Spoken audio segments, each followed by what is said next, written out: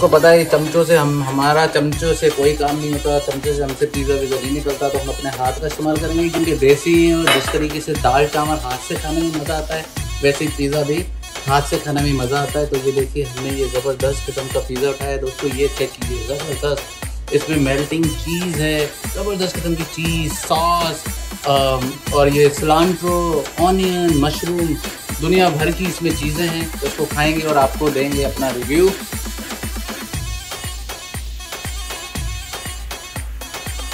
हम्म आला आला। वाकई ऐसा लग रहा है कि बटर चिकन जो है उसका टेस्ट आ रहा है सॉस आ रहा है ज़बरदस्त किस्म का।